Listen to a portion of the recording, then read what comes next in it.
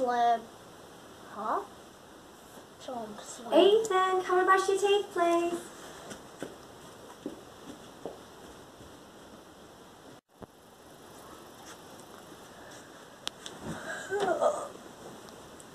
I'm tired. I think I'm gonna go to sleep now. What is that? What is it with little brothers leaving Lego everywhere?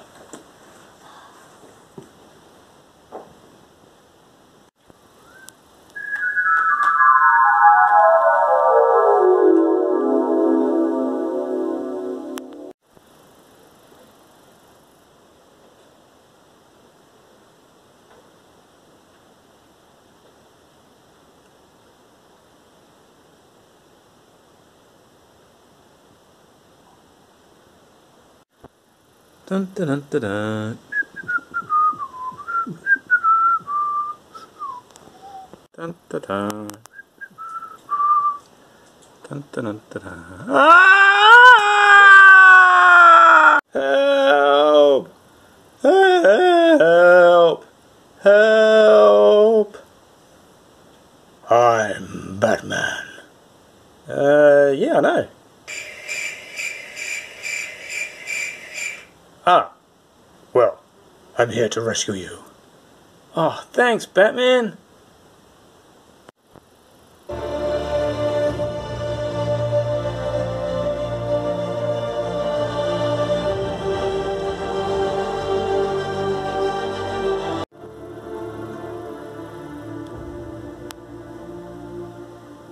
Okay, let's get out of here.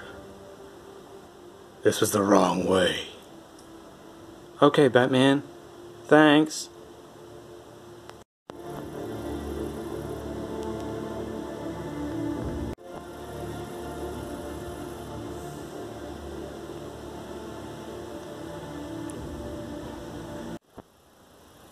Thanks so much, Batman.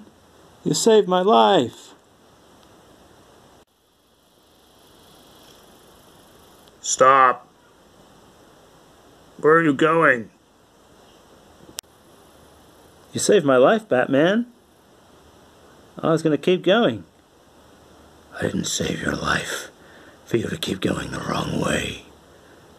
I saved your life to go a new way, to go a better way, to go the right way. I didn't just save you from something, I saved you for something. Oh, okay. Sure, Batman. Yay, I'm going the right way. Evie!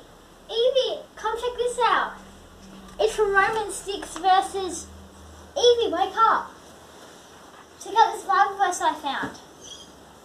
It's from Romans 6 verse 4. It says, We were buried with Christ in his death. Christ has been raised from the dead by the Father's glory. And like Christ, we also can have a new life. That's cool. Yeah, let's go find out about more of what it means. Okay. Hang on. Ha.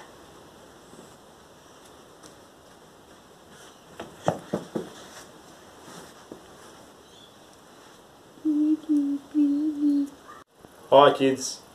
How amazing is that what Michaela just read to us from Romans? That Jesus died on the cross and came back to life so that we could have a new life. We've just had Easter where we remembered and thought about um, and said thanks to God that Jesus died on the cross and came back to life. That he took away our sins. But that's not the end of it. He didn't just take away our sins and that's the end of it. He took away our sins so that we can have a new life. So that we can be new people.